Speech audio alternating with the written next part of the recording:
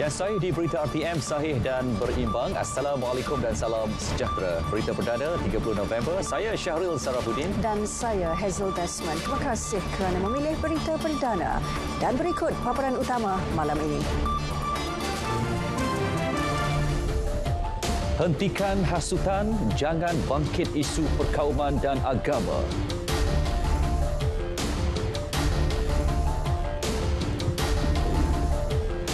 Majlis Raja-Raja Cadang laksana reformasi institusi kehakiman.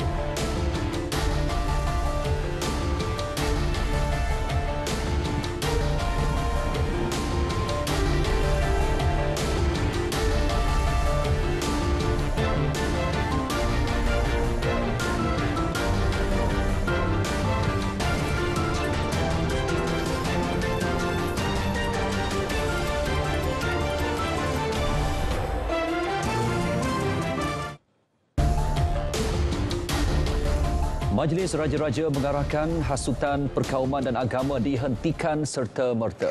Sebaliknya, semua pemimpin digesa memupuk semangat kebersamaan dalam kalangan rakyat pelbagai latar belakang. Yang di Pertuan Besar Negeri Sembilan, Tuanku Muhriz Tuanku Munawir yang juga pengerusi mesyuarat Majlis Raja-Raja ke-260 bertitah, kerajaan baharu perlu memainkan peranan dengan memupuk semangat perpaduan. Peluang yang ada perlu dimanfaat sebaik mungkin bagi memacu negara ke tahap lebih baik. Perkara itu boleh direalisasikan dengan mendukung dan memperkukuh prinsip rukun negara. Justru baginda mencadangkan lafaz ikrar rukun negara terus dilaksana dari semasa ke semasa dengan diketuai pemimpin yang dilantik dan bukan lagi golongan belia yang bersuara lantang. Tuanku Muhriz bertitah demikian menerusi perutusan pengerusi mesyuarat Majlis Raja-Raja ke-260 yang berlangsung di Istana Negara.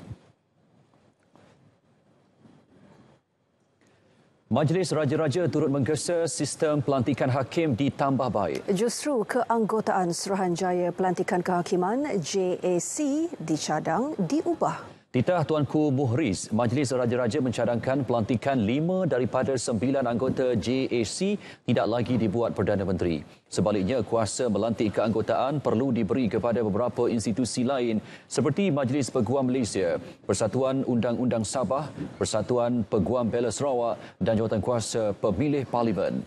Perubahan membolehkan keanggotaan JAC menjadi lebih seimbang dan tidak membawa kepentingan mana-mana pihak. Ia wajar dilaksana memandangkan Suruhanjaya itu memainkan peranan utama mengemukakan cadangan pelantikan hakim sekaligus memastikan hakim yang dilantik adalah berintegriti dan berkaliber. JAC yang dianggotai sembilan ahli terdiri daripada empat anggota yang sedang memegang jawatan terkanan manakala lima lagi merupakan lantikan Perdana Menteri.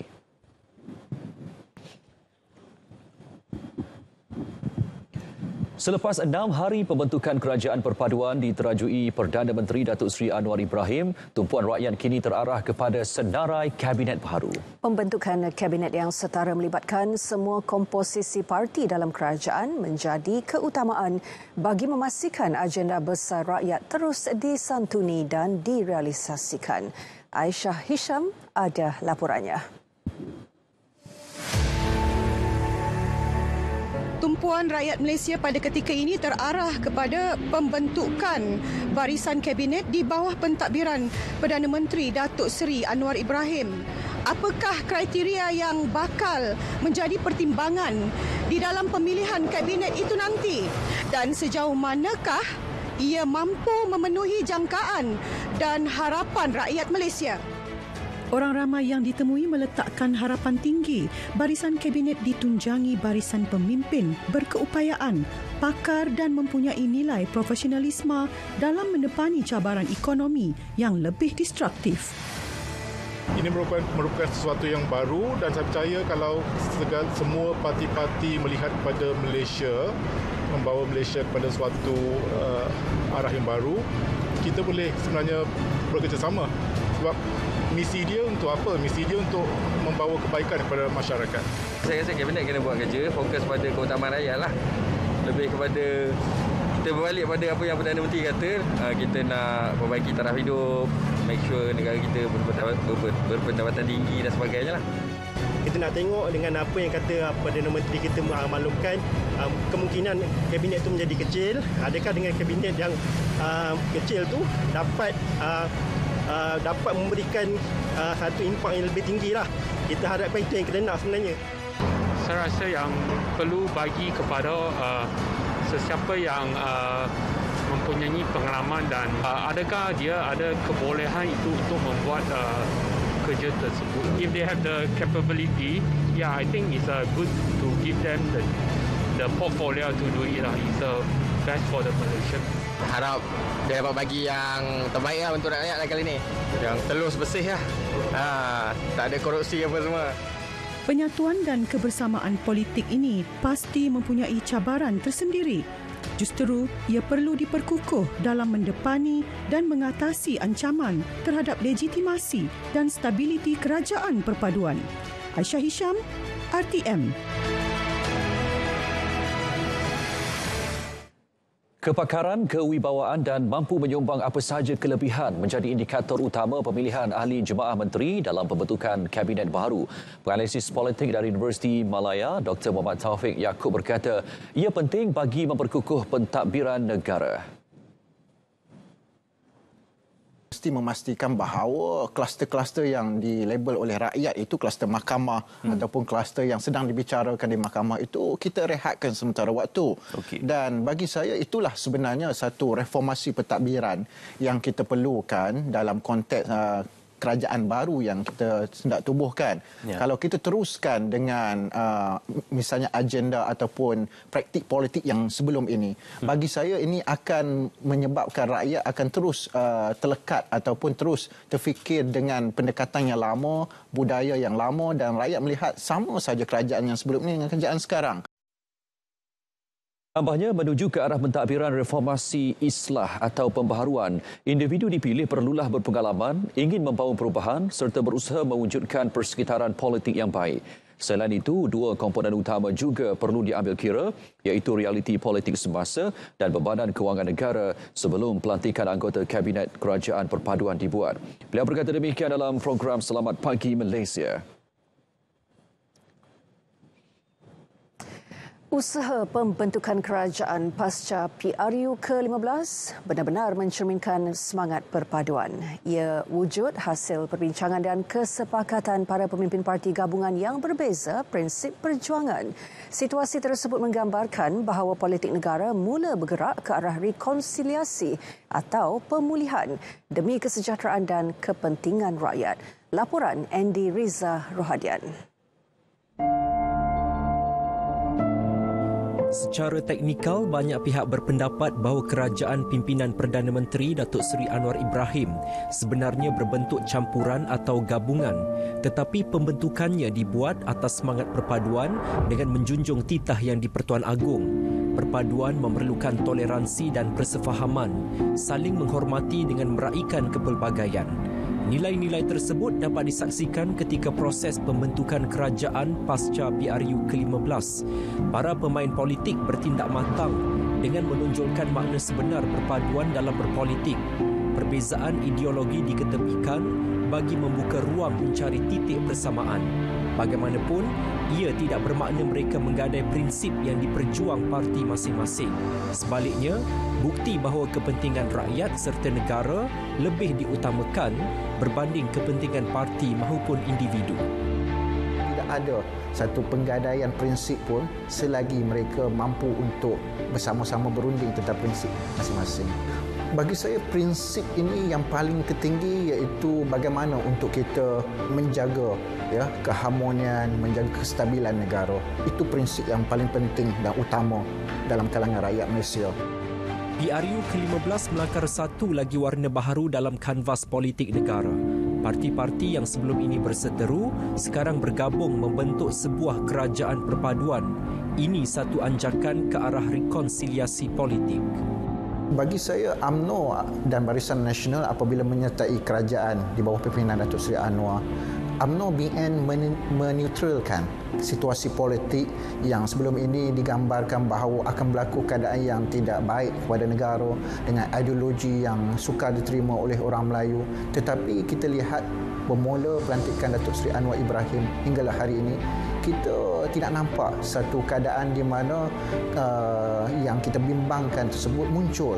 Dan bagi saya kerajaan perpaduan ini adalah satu bentuk ya perdamaian politik yang kita perlukan bagi memastikan uh, tidak ada lagi ya cakap-cakap politik ataupun politiking yang berterusan. Kita perlu sedar bahawa politiking yang berterusan ini bukan sahaja boleh mengganggu urusan kehidupan kita mengganggu pentadbiran kerajaan dan mengganggu sosialisasi rakyat. Namun apa salahnya kalau kita berikan ruang yang sebesar-besarnya kepada semua parti-parti politik untuk membuktikan bahawa mereka sebenarnya masuk dalam kerajaan untuk memulih dan membangkitkan semula ekonomi ekonomi, politik dan sosial. Kenyataan media pertama Datuk Seri Anwar sebagai Perdana Menteri ke-10 turut menarik perhatian. Beberapa perkara yang disentuh menggambarkan komitmen beliau untuk memperkukuh perpaduan dalam kalangan pemimpin politik dan rakyat berbilang bangsa di Malaysia ucapan tersebut menggambarkan bahawa kita sudah bersedia untuk melakukan gencatan politik sementara waktu dan kita bekerja untuk membangkitkan semula negara. Saya yakin kalau kita berusaha dan bersungguh-sungguh untuk melakukan perkara demikian ataupun saya boleh nyatakan political will inilah sebenarnya satu tindakan yang baik kepada negara. Usaha membangunkan semula negara bukan hanya urusan kerajaan tetapi tugas yang perlu digalas setiap warga negara. Satu hal yang perlu diingat, Malaysia milik kita bersama.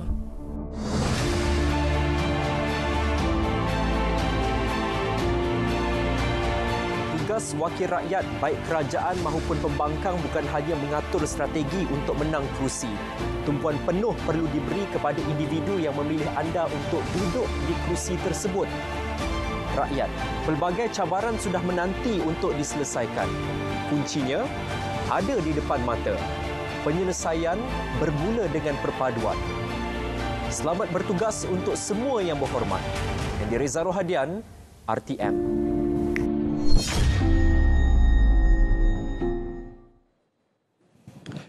Semua pihak terutama calon bagi PRU ke-15 Parlimen Padang Serai diharap agar bertanding secara sihat dan berhemah. Ini termasuk tidak mengeluarkan sebarang kenyataan yang menyentuh sensitiviti dan mengguris hati mana-mana pihak khususnya institusi di Raja. Calon Pakatan Harapan PH uh, bagi PRU ke-15 Parlimen Padang Serai, Dr. Muhammad Sofi Razak berpendapat calon-calon bertanding hanya perlu fokus kepada idea dan tawaran masing-masing untuk dipertimbangkan oleh pengundi.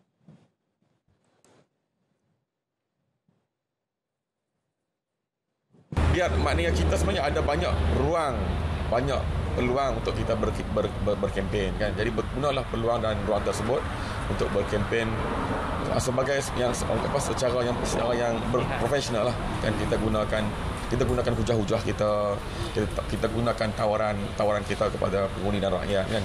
Dan jangan menggunakan macam tadilah dah sebelum ni uh, menggunakan isu-isu yang melibatkan perkauman isu-isu yang melibatkan apa tu keagamaan. Dan juga menyentuh menyentuh orang kata apa apa ni istana dan sebagainya kan. Jadi uh, saya harap jangan jangan sama sekali lah apa diulangi. Mungkin saya harap kalau tak, kita harap takat ni lah berhenti.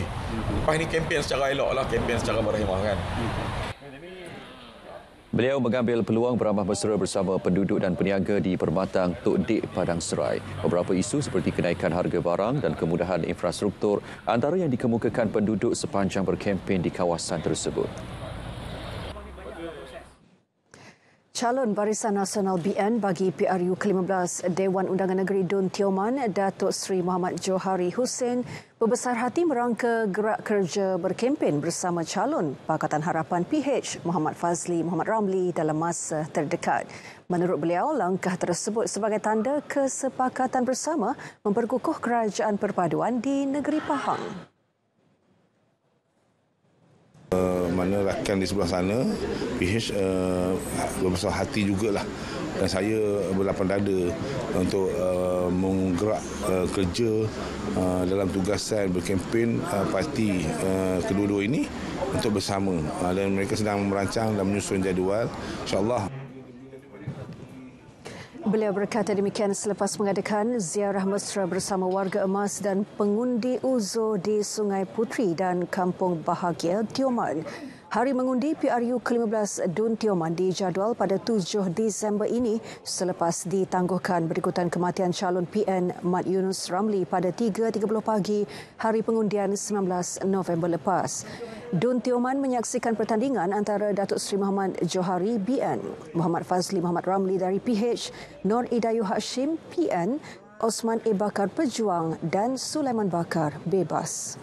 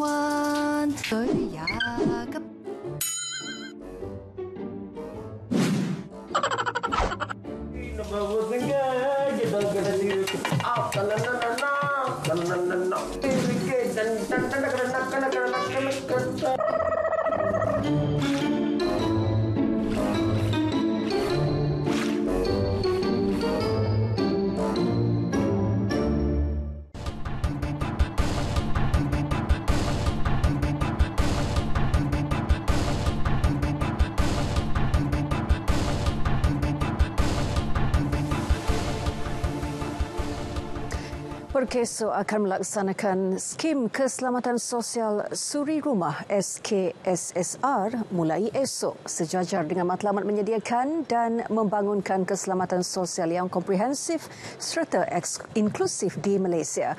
Menerusi kenyataan, skim berkenaan menyediakan pelindungan kepada golongan suri rumah apabila berhadapan bencana pekerjaan dan keilatan sewaktu melakukan urusan rumah tangga.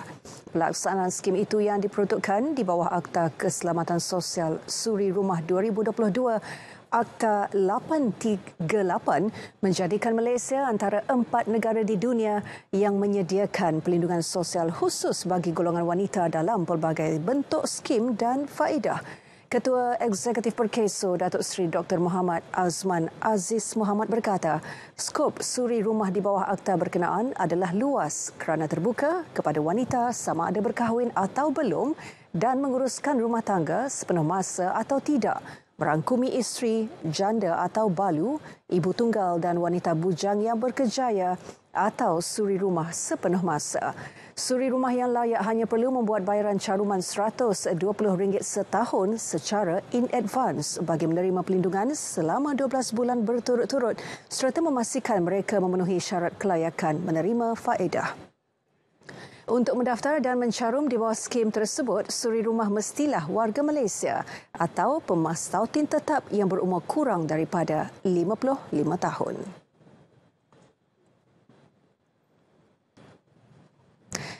Syarikat Minyak dan Gas Nasional Petronas mencatat keuntungan bersih berjumlah 30.8 bilion ringgit pada suku ketiga berakhir 30 September 2022 berbanding 16.3 bilion suku sama tahun lalu.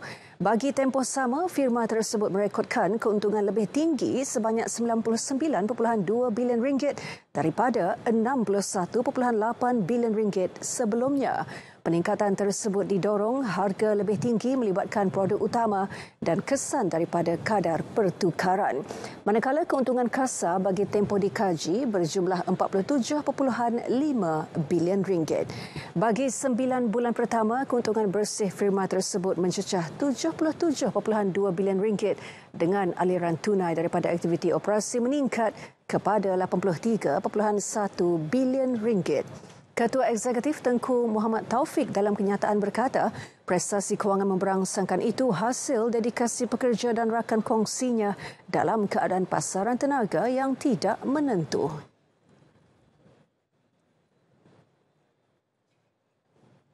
Sime Darby Property Berhad menetapkan sasaran jualan lebih rendah tahun depan berbanding 2.7 bilion ringgit yang dicapai untuk tempoh 9 bulan berakhir 30 September 2022. Pengarah urusan kumpulannya, Dato' Azmi Merikan berkata, isu kekurangan buruh, peningkatan kadar faedah global serta kebimbangan rantaian bekalan merupakan cabaran utama bagi syarikat. Bagi tempoh dikaji, syarikat melancarkan produk membabitkan nilai pembangunan kasa GDV 2.1 bilion ringgit Bagaimanapun pelancaran pada suku keempat dikurangkan dengan jumlah GDV 500 juta ringgit.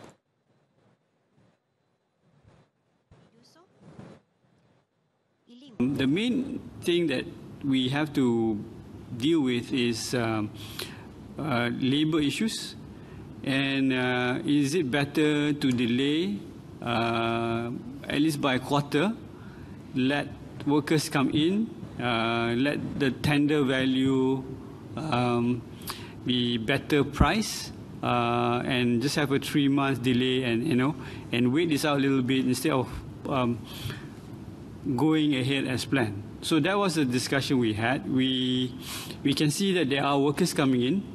Uh, it will take a bit more time. Uh, we can monitor the situation of our of our our, our contractors. Beliau berkata demikian dalam taklimat media bagi suku ketiga tahun kewangan 2022 secara maya.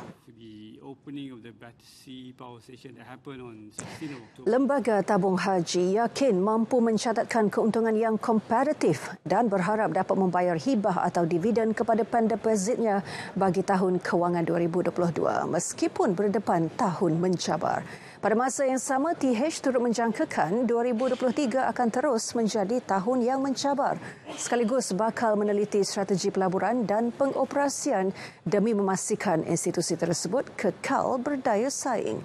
Jelas pengarah urusan dan ketua pegawai eksekutif kumpulannya, Datuk Seri Amrin Awaludin, strategi turut mengambil kira cadangan Suruhanjaya Siasatan Diraja RCI berkaitan TH.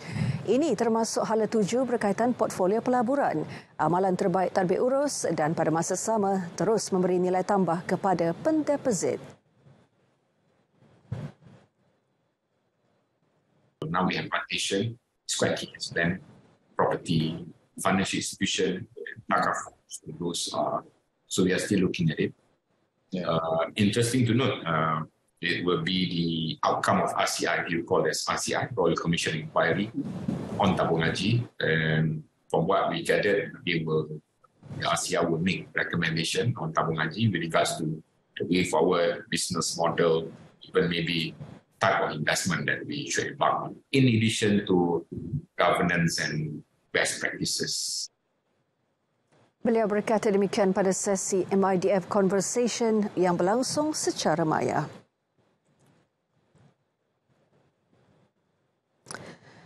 Dan seperti biasa, setiap Rabu kita ikuti harga runcit petrol dan diesel mingguan berkuat kuasa tengah malam ini hingga 7 Disember.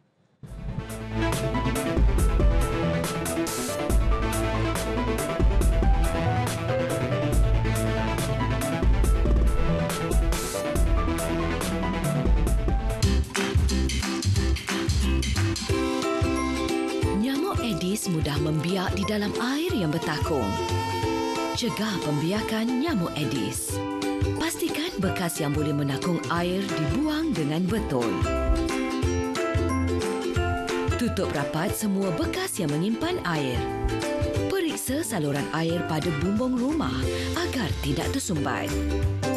Tiada Aedes, tiada denggi. Bersua kembali. Pertubuhan Peladang Kebangsaan Nafas melancarkan dua logo baru bagi Peladang Nita dan Peladang Muda Peringkat Kebangsaan. Langkah berkenaan merupakan usaha transformasi bagi memastikan pertubuhan itu sentiasa relevan. Ketua Setiausaha Kementerian Pertanian dan Industri Makanan MAFI, Dato' Haslida Abdul Hamid berkata, logo berkenaan menampilkan imej lebih segar, dinamik serta mempunyai identiti, identiti tersendiri.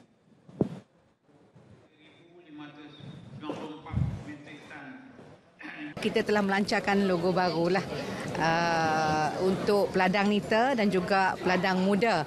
Yang mana peladang nita memang ramai ahlinya lebih kurang 300 over 1000 dan peladang muda lebih kurang 100 ribu lebih ya. Overall uh, ahli ya peladang semua ni lebih kurang satu juta, hampir satu juta dan ramai. Dan uh, adalah menjadi tanggungjawab kementerian untuk memastikan ya kesejahteraan uh, ahli-ahli peladang ni terpelihara. Beliau berkata demikian selepas merasmikan mesyuarat agung tahunan nafas ke-49 di Putrajaya.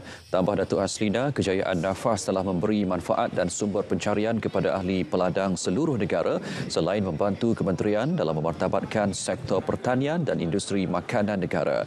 Dalam majlis yang sama, Nafas turut menerima replika cek bagi tambahan pelaburan skim pelaburan khas peladang SPKP iaitu dana peladang kebangsaan di PK yang tertinggi sehingga November 2022 daripada Pertubuhan Peladang Kawasan PPK Kuala Selangor, PPK Simpang Lima dan PPK Hutan Melintang.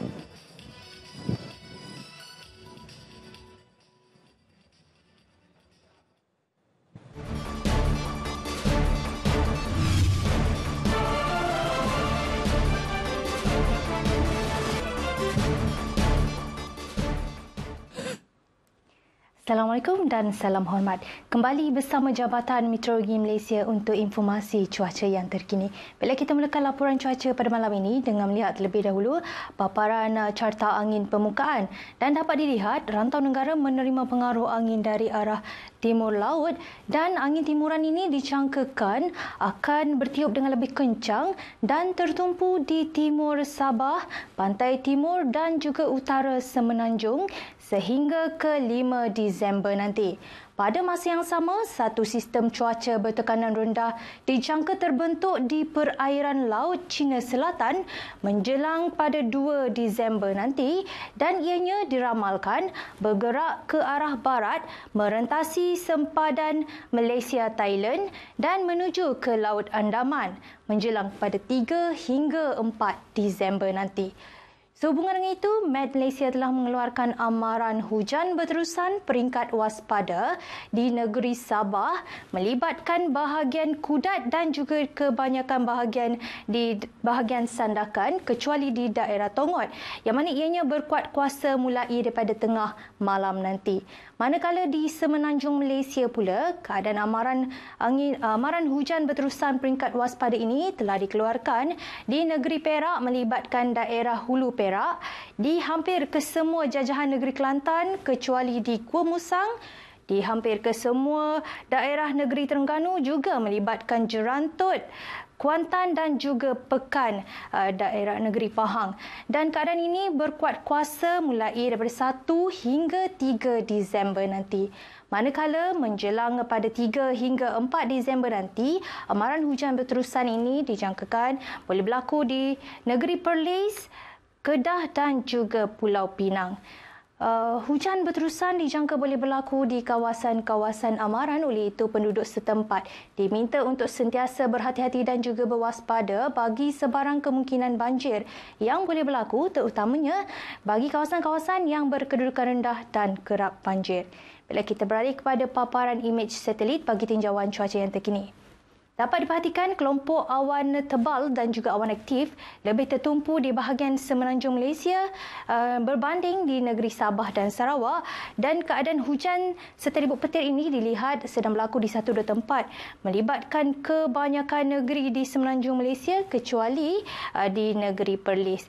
Dan keadaan hujan serta ribut petir yang sedang berlaku di negeri pantai barat melibatkan uh, negeri Perak, Selangor, wilayah Persekutuan Kuala Lumpur, negeri Sembilan Melaka dan juga Johor tempur ini dijangkakan boleh berlarutan sehingga ke tengah malam nanti manakala di lain-lain negeri dijangkakan boleh beransur dalam tempoh masa 2 hingga ke 3 jam sahaja lagi. Manakala di negeri Sabah dan Sarawak pula, keadaan hujan serta ribut petir dilihat lebih tertumpu di bahagian barat negeri Sarawak yang mana ianya dijangkakan boleh beransur dalam tempoh masa 2 uh, hingga ke 3 jam lagi. Manakala di negeri Sabah ini, keadaan hujan serta ribut petir dilihat sedang berlaku di hampir di hampir ke semua bahagian di negeri Sabah dan juga dijangkakan ianya mampu untuk berlarutan sehingga ke pagi esok. Baiklah, sekian sahaja informasi cuaca pada malam ini. Jangan lupa untuk ikuti kami di laman Facebook, Instagram, Twitter dan juga YouTube rasmi Met Malaysia. Sekian melaporkan Khairatun Syamsuddin. Assalamualaikum.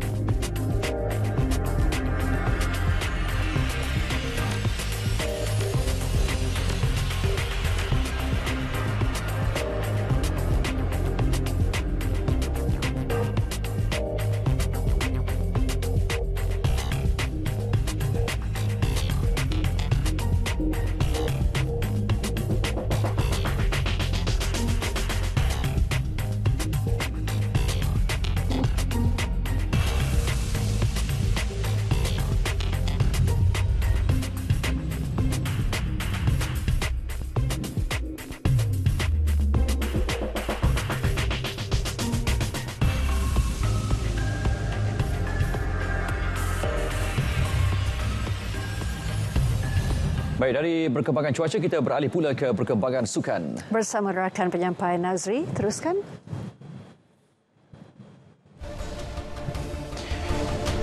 Terima kasih Hashim Mustafa.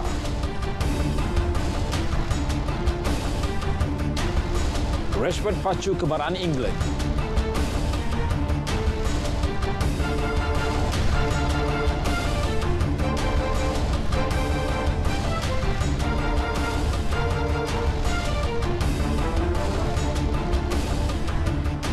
Syaril dan Hazel. Assalamualaikum dan salam sukan untuk semua. Kita mulakan dengan uh, perkembangan ini. Jenazah bekas pemain bola sepak kebangsaan dan Kelatan era 90-an Muhammad Hashim Mustafa selamat dikebumikan di tanah perkuburan Islam Capi, Kampung Baung Bayam, Kota Baru Kelantan pada pukul 10.30 pagi tadi. Muhammad Hashim yang berusia 56 tahun menghembuskan nafas terakhir di Hospital Universiti Sains Malaysia HUSM Kubang Krian Kota Baru pada malam semalam. Sebelum itu jenazahnya disolatkan hampir seribu jemaah termasuk ahli keluarga, jiran, rakan-rakan dan bekas pemain pasukan Kelantan di Masjid Al-Husna Kota Baru. Bekas pengurus Kelantan FA Azman Ibrahim berkata, pemergian legenda bola sepak tanah air Allahyarham Muhammad Hashim Mustafa adalah satu kehilangan besar dalam arena bola sepak negara. Semasa saya melawat beliau uh, selepas kakinya dipotong, dia masih lagi bersemangat dan bercakap pada saya uh, selepas dia pulih daripada uh, kesan uh, pemotongan kakinya, dia akan kembali ke Padang untuk menjadi jurulatih. Dan saya rasa ini adalah satu kehilangan yang amat besar pada sukan bersepak Malaysia dan juga Kelantan khasnya. Bekas rakan sepasukan Muhammad Ausri Hussein pula berkata Al-Yaham sangat berdisiplin ketika mereka beraksi mewakili Kelantan pada penghujung era 90-an. Selama beri bersama dia, dia sebagai abang kita lah. Ha, dia banyak tunjuk ajar, ha, ilmu-ilmu dia banyak bagi. Dan dia sangat ha, baik dengan semua pemain-pemain di atas pada. Dia, dia asing ni, uh, komitmen dia nya kali training pukul 5 dia 4.45 tu dia lari dah uh, atas padang. Muhammad Hashim meninggal dunia selepas ditidurkan beberapa hari di unit rawatan rapi ICU HUSM pada pukul 10.25 malam. Allahyarham yang menghidap penyakit kencing manis meninggalkan seorang balu serta tiga orang anak. Masih lagi perkembangan bola sepak, tonggak utama Selangor FC, Brandon Gunn dan pemain sayap Terengganu FC Mohd Faisal Halim mendapat kepercayaan Ketua Jati Kebangsaan Kipanggun apabila dilantik Kapten Skot Harimau Malaya bagi mengharing kejohanan Piala Persekutuan Bola Sepak ASEAN AFF 2022. Dalam satu kenyataan, Persatuan Bola Sepak Malaysia FAM memaklumkan kejutan itu diputuskan sendiri oleh Panggun sekaligus menyaksikan Brandon dan Faisal akan bersama-sama Dion Kul serta Safawi Rashid bagi membentuk gandingan empat kapten Harimau Malaya. Dion dan Safawi semua ini dilantik sebagai kapten bersama pemain Johor Darul Ta'zim Syafiq Ahmad ketika kempen Piala Raja Thai di Thailand pada September lepas. Namun oleh kerana tiada ketiadaan Syafiq bagi kem latihan pusat kali ini, Brandon dan Faisal telah dinamakan sebagai pengganti. Syafiq sebelum ini antara 11 pemain JDT yang tidak dapat menyertai kem latihan pusat atas alasan urusan peribadi, komitmen keluarga dan masalah kecederaan. Malaysia akan berdepan dua aksi pemanas badan menentang Kemboja pada 9 Disember dan Maldives pada 14 Disember sebelum senarai terakhir pemain skot Harimau Melaya dibuktamatkan. Kempen Piala AFF 2020 akan bermula dari 20 Disember hingga 16 Januari tahun depan. Dalam pada itu, kem latihan pusat skuad kebangsaan semalam hanya disertai 17 pemain selepas mereka melaporkan diri di FAM. Menurut Ketua Juhati Kim Panggun, beberapa tonggak utama tidak menyertai kem berkenaan atas sebab-sebab tersendiri. Meskipun dilihat mampu menjejaskan persiapan skor Harimau Melaya ke Piala AFF 2022, namun Panggun mengakui ia adalah hakikat yang perlu diterima barisan kejurulatihannya. I'm here in, in Malaysia. Yeah, I need I need adapt and also yeah uh, accept yeah yeah all the situation. So I don't want to complain. Uh, the, what this is you know in the rule, you know, in FIFA rule, so it can be happen. Tambahnya baki 11 pemain lagi akan minta ikem latihan secara berperingkat termasuk 7 pemain Selangor FC dan 2 pemain Johor Darul Ta'zim yang akan melaporkan diri Isnin depan. Panggung turut mengesahkan dua pemain KL City, Muhammad Akram Hinan dan Declan Lambert tidak akan minta pasukan itu atas sebab pribadi. Kita balik pula ke perkembangan sukan badminton. Juara bergu dunia Aaron Chia dan So Woyik sudah bersedia untuk melakar kejutan apabila jelajah dunia akhir Persekutuan Badminton Dunia BWF 2022 di Thailand, Bangkok bermula pada minggu depan. Bagaimanapun, pasangan ranking keempat dunia itu enggan meletakkan sebarang sasaran mereka dalam kempen tersebut. Menurut Aaron, ketika ini persiapannya bersama Woyi kesayangan penutup musim itu berjalan dengan baik. Namun, bagi memastikan tiada sebarang tekanan ke atas bahu mereka, maka bergu utama negara itu enggan meletakkan sebarang sasaran. Antara lawan mereka di Bangkok nanti ialah pasangan nombor satu dunia dari Jepun, Takuro Hoki, Yugo Kobayashi, Muhammad Hassan Hendra Setiawan dari Indonesia, Liu Yuchen dan Ou Zuangyi dari China dan gandingan profesional Malaysia, Ong Yi Sin Tio Yi. Bagaimanapun, Persatuan Badminton Malaysia BM berharap Aaron dan Wo Ying serta bergu wanita nombor satu negara Pilitan dan M. Tina dapat melepasi saingan peringkat kumpulan di kejohanan itu nanti. Dalam pada itu, Aaron dan Wo Yi turut dicalonkan bagi anugerah pasangan terbaik BWF bagi 2022. Pemenang anugerah itu akan diumumkan pada 5 Disember ini sempena majlis makan malam gala BWF di Bangkok. Kejuaraan Hoki Piala Negara-Negara FIH di Afrika Selatan. Dua jaringan Muhammad Azrai Aizat Abu Kamal membantu Malaysia bangkit mengatasi Kanada 3-2 pada aksi kumpulan B semalam. Ini kemenangan pertama skuad negara selepas tumpas pada aksi pembukaan kepada Korea Selatan kemarin. Kemenangan tipis itu sekaligus menghidupkan kembali peluang The Speedy Tigers ke pusingan separuh akhir. Sebelum ini, skuad kendalian Arus Sevarash itu tewas 0-1 kepada juara Piala Asia 2022 Korea Selatan. Dalam aksi kedua semalam, Kanada yang menduduki ranking ke-16 dunia terlebih dahulu mengejutkan Malaysia menerusi jaringan padang Sean Davis pada minit ke-19. Skuad negara yang menghuni ranking ke-10 dunia berjaya menyamakan kedudukan menerusi pukulan sudut penalti Muhammad Firhan Ashari pada minit ke-33. Namun Kanada sekali lagi menggegarkan gawang negara apabila Gordon Johnston melengkapkan pukulan sudut penalti pada minit ke-40. Serangan bertali arus Malaysia membuahkan hasil apabila Muhammad Azrai meledak dua jaringan padang masing-masing pada minit ke-50 dan 57 sekaligus menghadiahkan kemenangan buat skuad negara. Sementara itu, Kota Jurulatih Arus Varaj menganggap kemenangan itu amat bermakna selepas anak buahnya menunjukkan sikap positif dan tidak mudah mengalah sehingga minit-minit akhir. Kita ketinggalan dua kali, uh, satu kosong dan dua satu.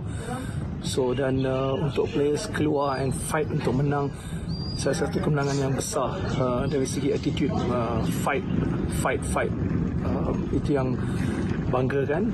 Uh, tapi yang mengecewakan sedikit adalah dari segi kita punya marking dan juga urgency kita untuk react dengan pantas. Itu yang satu kita kena um, react uh, atau membetulkan dengan pantas. Bagaimanapun Arul meluahkan kerisauan menjelang aksi dengan Jepun esok apabila beberapa pemain negara mengalami kecederaan dan masalah kecergasan. Malaysia kini terikat tiga mata dengan Jepun dan pertemuan esok merupakan misi hidup mati The Speedy Tigers dalam misi memburu tempat kedua kumpulan sekaligus menjamin slot ke separuh akhir. Dan rekod tiga pertemuan terakhir, Malaysia menang kesemua perlawanan menentang Jepun.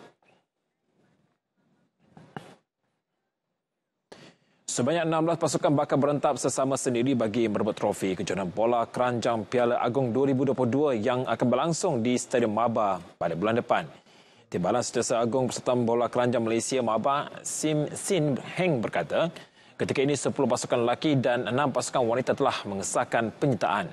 Beliau turut menjelaskan beberapa pembaruan akan dilakukan dalam persaingan musim ini berikutan sambutan hangat peminat sukan itu. The rest of them will go to St. George's. Datuk Sri Lee Tian Hong, our president, he, he knows hey, this stadium is not big enough. So now he's planning to build a bigger stadium so that the fans that want to come and watch the game they can come in. Beliau menyatakan perkara itu ketika sedang media kejohanan siang tadi. Tambah beliau sebanyak RM90,000 diperuntukkan bagi hadiah temasyak itu. Selain itu, jualan tiket perlawanan boleh dibuat melalui talian dan juga boleh didapati di kaunter tiket Stadium Maba.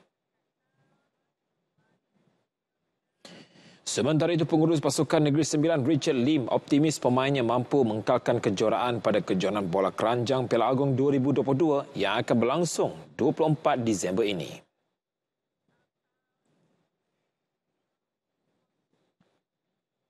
Uh, we'll do our our job. We do everything. We think, but also I think I see some talent player from the other team coming up, new new talent player. So I think we're a good fight. So we got confidence. Tambahnya lagi, pasukan perlu mengkakan momentum bagi mencapai misi memburu gelaran juara buat kali kelima. Dalam pada itu, Ketua Jurulatih Angkatan Tentera Malaysia ATM Dr. Faiz Bahrudin menyatakan persiapan anak buahnya telah dilakukan sejak beberapa bulan lepas. So of course kita ada uh, top tier punya uh, team lah macam uh, Selangor of course the Negeri Sembilan eh tapi uh, ATM basically kita ada beberapa uh, kita punya opponent yang kita traditional opponent macam uh, Police okay Putrajaya okay and then uh, ada team lah like Melaka. Tambahnya ATM bersedia memberi saingan sengit dalam memburu trofi berprestij tersebut. Beralih ke sukan elektronik, e-sukan kejayaan meraih pingat emas di kejuaraan e-sukan belia antarabangsa di Kazan, Rusia menjadi motivasi terbaik buat pemain negara Dr. Yu Wenqian dalam menggalas cabaran Malaysia di Sukan Asia Hangzhou tahun depan. Pada kejuaraan berkenaan, Dr. Yu berjaya menewaskan pencabar-pencabar lain dalam acara Hearthstone. Pemegang PhD kejuruteraan elektrik itu berkata, peluang beraksi di kejohanan tersebut sangat penting memandangkan kebanyakan acara isukan tahun ini dibatalkan. Uh, mungkin satu atau dua lagi untuk bersedia lagi untuk uh, Sukan Asia akan datang. Tapi uh, prestasi saya untuk kejuaraan ini amat uh, baik dan saya berharap ini dapat diteruskan. Ia merupakan kejuaraan sulung buat dirinya pada tahun ini yang menawarkan hadiah wang tunai kira-kira RM30,000. Dr. Yu ditemui di KLI 2 sejurus tiba dari Kazan dengan disambut kaki tangan University Heriot tempat beliau bertugas. Beralih ke Piala Dunia FIFA 2022, Ketua Jurulatih England Gareth Southgate percaya The Three Lions mampu menamatkan penantian 56 tahun menjulang gelaran dunia buat kali kedua sekiranya Marcus Rashford terus mempamerkan setuhan ajaibnya. Penyerang Manchester United itu meledak dua gol ketika membantu England menang 3-0 ke atas Wales sekaligus menjamin tempat ke pusingan 16 pasukan terbaik. Dua gol pada minit ke-50 dan 68, manakala satu gol lagi dihasilkan pemain Manchester City, Phil Foden. Southgate berkata perubahan yang ditunjukkan Rashford sejak kekalahan England. You can see with his club, there's been happiness in, in his performances this year. And um, I have to say that's shown itself on the training ground all the time with us. You know, we've got a different version completely to the player we had uh, in the Euros last summer. So he's, um, you know, he's he's managed to produce those moments tonight. Um, but great for him, and because it's great for him, it's great for us. Rashford kini terikat sebagai penjara terbanyak Piala Dunia dengan tiga gol meskipun hanya diturunkan Edisi Sukan 30 November 2022 berakhir di sini. Saya Nazif Amir Syukri. Assalamualaikum dan salam sukan untuk semua.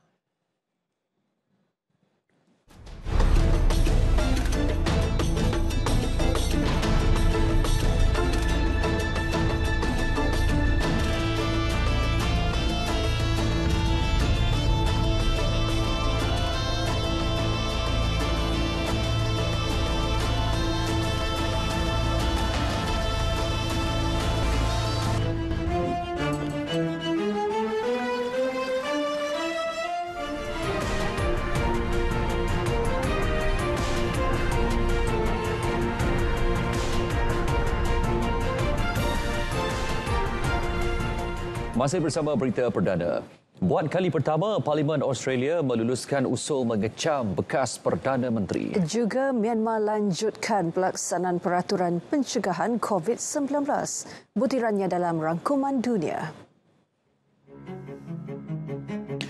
Parlimen Australia meluluskan usul mengecam bekas Perdana Menteri Scott Morrison sesulan tindakannya secara rahsia melantik diri sendiri ke beberapa jawatan.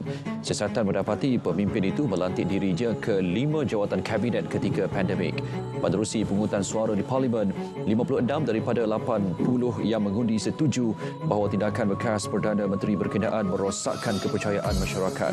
Ini merupakan kali pertama usul kecam bekas Perdana Menteri diluluskan di Parlimen.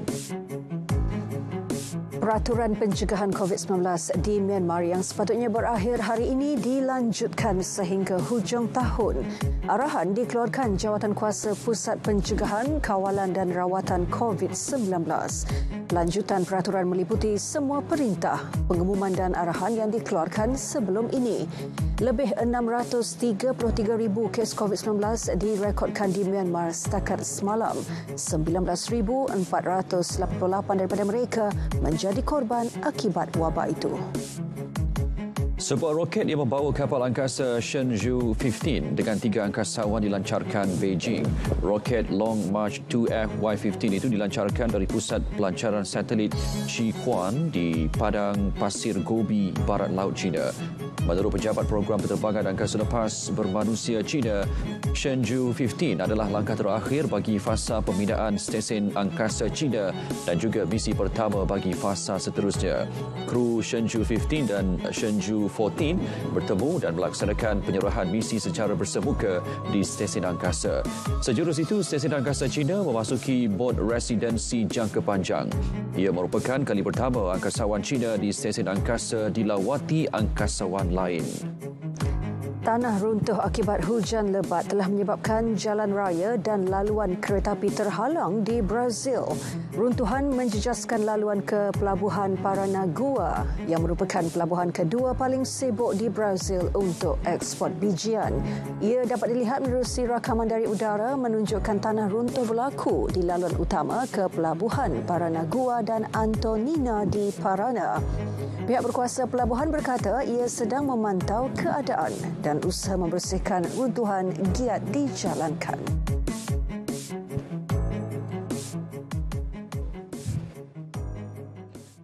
Plus Berhad akan memberi lebih fokus kepada usaha mengurangkan jumlah kemalangan maut melibatkan kenderaan berat dan motosikal. Ketua Pegawai Operasinya Datuk Zakaria Ahmad Zabidi berkata inisiatif tersebut akan dilaksanakan secara strategik bersama Jabatan Pengangkutan Jalan JPJ. Pelaksanaannya selaras dengan hasrat kerajaan untuk meminimumkan kadar kemalangan kepada 50% menjelang 2030. Mengikut statistik, terdapat peningkatan sebanyak 2% jumlah kemalangan maut yang disebabkan oleh kenderaan berat tahun ini. Salah satu inisiatif yang saya rasa tahun depan insya-Allah kita boleh laksanakan ialah dengan apa ni uh, mengadakan kita panggil way emotion. Way emotion adalah satu sistem di mana kenderaan berat yang melalui lebuh raya Pelas kita akan detect dan kita akan um, capture the weight as well as the image of the vehicle yang melalui uh, lebuh raya Pelas. Jadi tahun depan kita akan lancarkan insya-Allah. Beliau berkata demikian pada latihan simulasi kecemasan Plus Berhad di laluan 267.8 arah selatan Lebuh Raya Utara Selatan membabitkan anggota pelbagai agensi antaranya PDRM, Jabatan Bomba dan Penyelamat Negeri, Lembaga Lebuh Raya Malaysia LLM dan Kementerian Kesihatan. Objektif latihan bagi meningkatkan kecekapan agensi bantuan dan kecemasan sekiranya berlaku bencana. Lapan lelaki berumur 32 hingga 44 tahun ditahan kerana dipercayai memiliki dan mengedar pelbagai jenis dadah seberat hampir 160 gram. Ketua Polis Daerah Pontian Superintenden Muhammad Syofi Tayyib memaklumkan serbuan dibuat menerusi operasi khas pada 27 November hingga semalam melibatkan kawasan Benut, Pekan Nenas, Permas dan Kukuk. Serbuan pada 27 November menahan seorang lelaki di Perbas dan merampas 37.18 gram dadah dipercayai jenis heroin. Manakala pada 28 November di Benut, enam lelaki ditahan berserta 7.28 gram heroin dan 0.86 gram syabu dirampas. Pada operasi petang semalam di Pekan Nenas pula, seorang lelaki ditahan dan 113.75 gram dadah jenis heroin dirampas selain barang kemas bernilai RM10,500 dan wang tunai RM280 turut disita. Saringan Yuri mendapati lima daripada suspek positif dadah jenis morfin. Kes disiasat mengikut Seksyen 39B, Seksyen 39A kurungan 2 dan Seksyen 15 kurungan 1 kurungan A Akta Dadah Berbahaya 1952. Aktiviti membekalkan daun ketum di sekitar Pahang tumpas Ketua Polis Daerah Bentong, Superintendent Usaha Muhammad Kahar berkata, seorang suspek berusia 44 tahun ditahan unit peronda di kilometer 63 Lebuh Raya Karak kira-kira pukul 3 pagi tadi. Menurut beliau, pihaknya mengesan kereta dipandu suspek dalam keadaan mencurigakan. Pemeriksaan dilakukan membawa kepada penemuan 243 bungkusan mengandungi daun ketum dengan setiap bungkusan dianggarkan seberat 1 kilogram. Berdasarkan soal siasat, suspek mengaku daun ketum itu dibawa dari Pendang Kedah dan sudah dibeli oleh seorang pelanggan yang berada di Temeloh Pahang.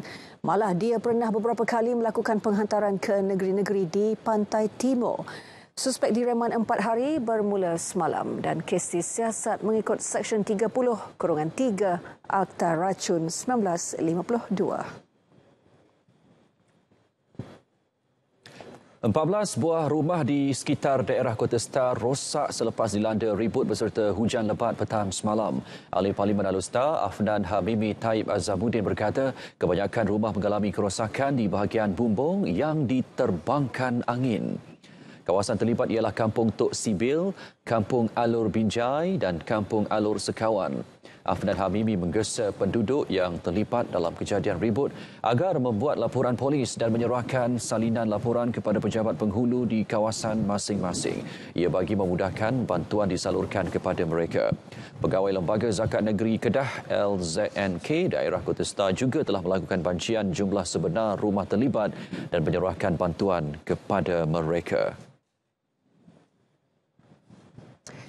Selangor mencatatkan purata enam kes kematian seminggu akibat wabak COVID-19 sejak awal tahun ini hingga 19 November lepas. Ini menunjukkan penurunan ke angka 0.1% bagi kadar kematian kes CFR sejak minggu epidemiologi ketiga bagi tahun 2022. Pengerusi Jawatan Kuasa Tetap Kesihatan Awam, Perpaduan dan Pembangunan Wanita dan Keluarga Negeri, Dr. Siti Mariah Mahmud berkata, sejak COVID-19 melanda negara, Selangor merekodkan kadar kematian keseluruhan 10,911 kes, iaitu 0.7% CFR.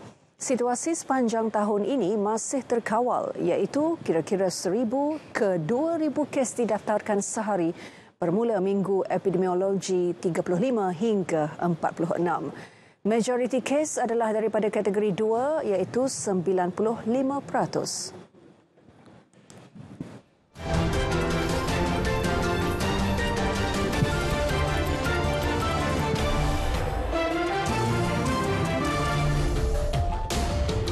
Hari bersejarah bagi pelajar institusi pengajian tinggi iaitu Majlis Convocation kini antara yang popular di pelbagai platform social media. Betul Syaril, sudah pasti ini jadi kenangan indah buat mereka. Namun di sebalik kegembiraan terselit ya. juga momen yang mengundang sebab. Untuk itu kita saksikan visualnya dalam paparan hashtag. Ajal maut di tangan Tuhan. Melihat anak memegang segulung ijazah adalah satu hadiah buat ibu bapa. Namun begitu bukan semuanya dapat merasainya. Tulah di TikTok, seorang bapa menggantikan anaknya yang telah dijemput ilahi menaiki pentas bagi menerima scroll dikongsi seorang graduan sewaktu hari convocation. Saat si bapa menaiki dan turun pentas mengundang sebab malah terlalu sedih sehingga diiringi para petugas. Dalam masa 21 jam, video tersebut telah meraih hampir 700 ribu tontonan. Dan tular juga di media sosial baru-baru ini video pemandangan di sebuah gunung di India Menerusi video tersebut menunjukkan air dari jatuhan antara dua gunung naik ke atas dan tidak jatuh ke bawah seperti biasa disebabkan oleh angin sekaligus mencipta satu pemandangan yang cukup indah. Video tersebut telah dikongsi oleh seorang pegawai hutan India Susanta Nanda di laman Twitter. Ini pula kuih koci merupakan salah satu kuih tradisional. Tekstur kuih yang lembut dan kenyal berserta inti kelapa pasti membuatkan ramai mahu menikmatinya. Seorang wanita dikenali sebagai Diana Pinky berkongsi keunikan kuih koci miliknya di laman Facebook baru-baru ini. Apa yang uniknya, kuih koci tersebut berbentuk Hello Kitty dan melodi. Rata-rata reaksi warganet memuji dan menyatakan bahu menyimpan sahaja kuih koci tersebut. Baik, berita perdana 30 November 2022 berakhir di sini. Terus dapatkan perkembangan sahih sepanjang masa melalui portal berita.rtm.gov.my. Yang sahih di berita RTM. Dengan itu, Assalamualaikum. Salam hormat.